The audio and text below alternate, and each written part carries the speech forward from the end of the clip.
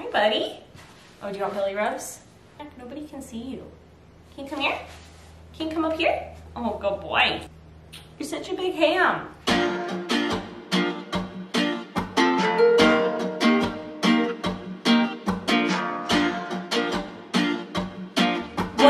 Guys? Welcome back to the channel or welcome if you're new. I'm Haley, this is Mackey, this is Rob and Haley, and in today's video I'm to be sharing five things you need to know before owning a Shepsky or a Shepherd Husky. So if you are new around here, if you didn't know, Mackey here is a Shepherd Husky. He also has some other breeds mixed in, but mostly Shepherd Husky and we rescued him from a shelter when he was about three months old. So we've had him since then. He's now about a year and a half and he is like our whole world, obviously. I share a ton of videos about him and about like Shepskis and dogs and stuff like that on this channel, on his YouTube channel, and then also on his TikTok and his Instagram. I'm always sharing stuff. So be sure to follow us over there for more information and like daily insight into his life. But I decided to make a video of five things you need to know before owning a Shepsky because I get a lot of questions about that. And so I decided to just put it into one video. So I'm gonna go through this list. Obviously, um, does that feel good? Okay.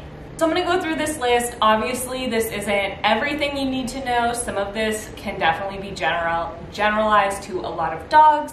And this is also just in our experience. Like I said, Mackey does have other breeds mixed in with him.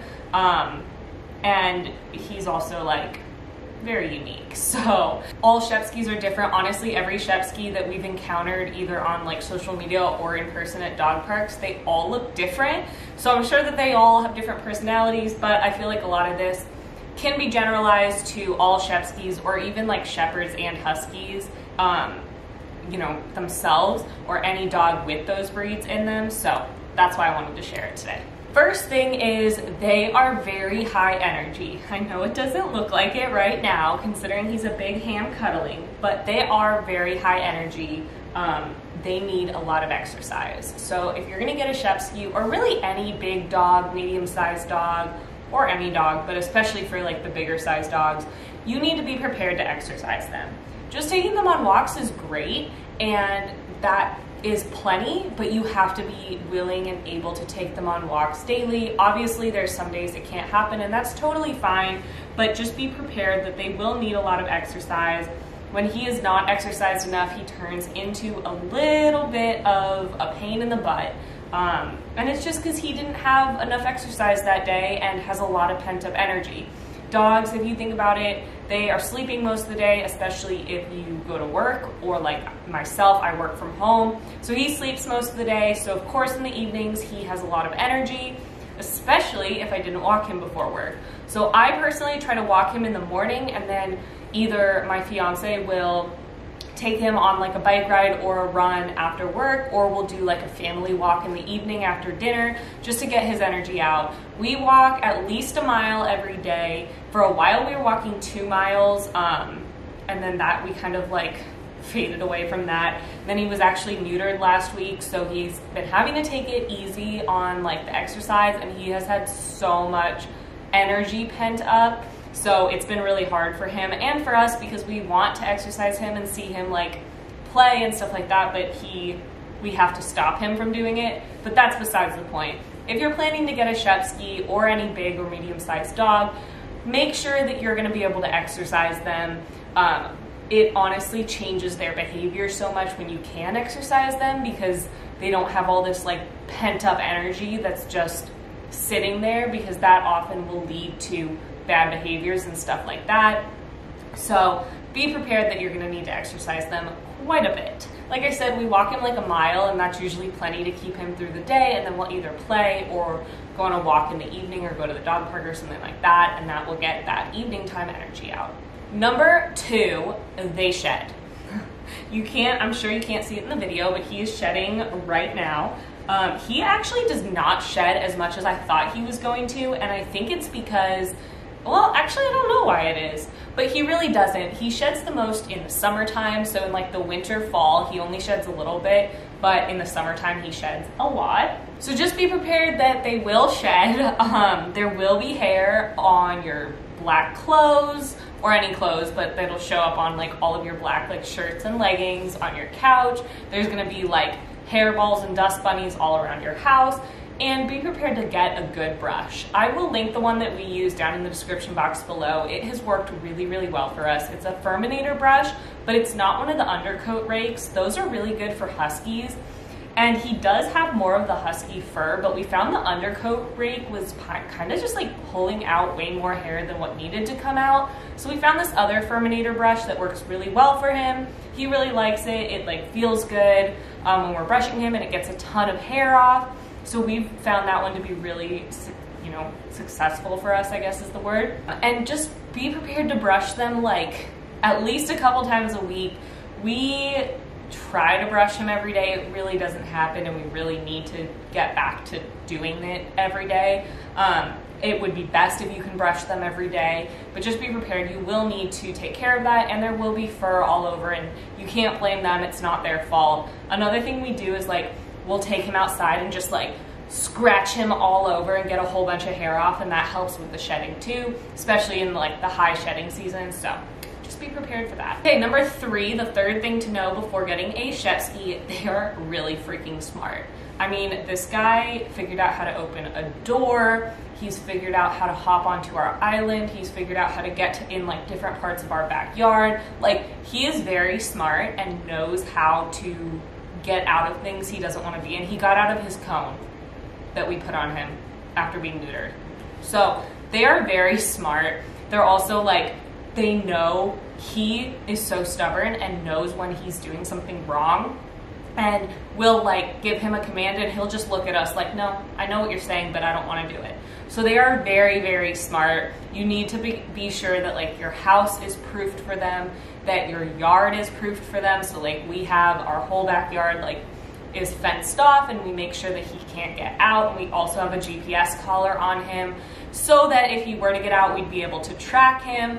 Um, I did a whole review on the GPS collar, so I will leave that video on one of the corners so you guys can check that out because it is like the best thing because he could escape if he wanted to.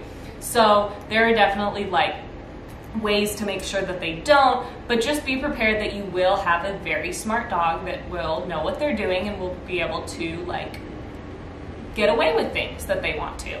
Going off of that, you are going to need to train them because they're so smart and also because they like to be alpha. So both breeds, especially Huskies, are like known for being the alpha, the leader of the pack, and that's just how they're bred.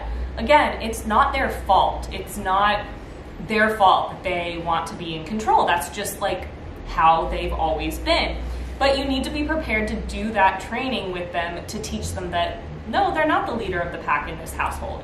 When we first got him, um, after the first weekend when we were home with him all weekend, my fiance went to work, and then that next day, he when he went to work, and then my fiance Rob got home, Mackey lost it. He was like so mad, and he was being really like aggressive and alpha, and like trying to show us like I'm mad, I'm not okay with this.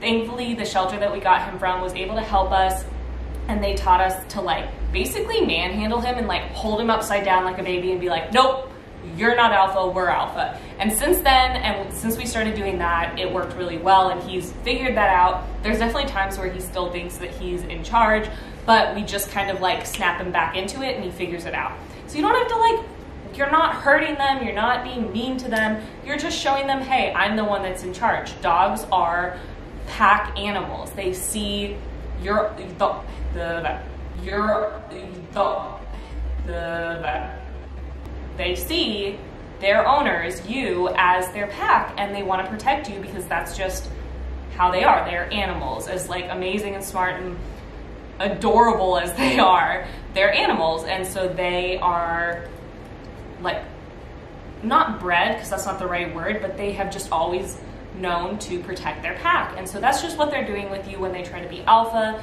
And you just have to know how to properly teach them it's okay in this environment. I can handle it. I'm in charge. I will protect you.